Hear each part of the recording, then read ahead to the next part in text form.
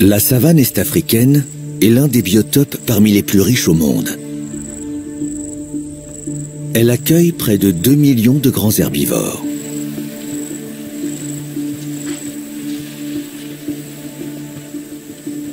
Pour combler leur appétit, ces animaux trouvent des végétaux en abondance.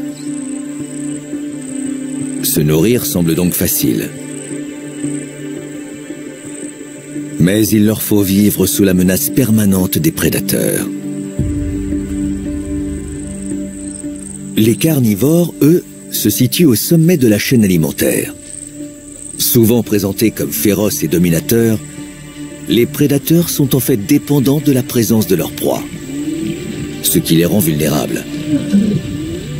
Alors, pour survivre dans la savane, lesquels sont les mieux adaptés? Les herbivores ou les carnivores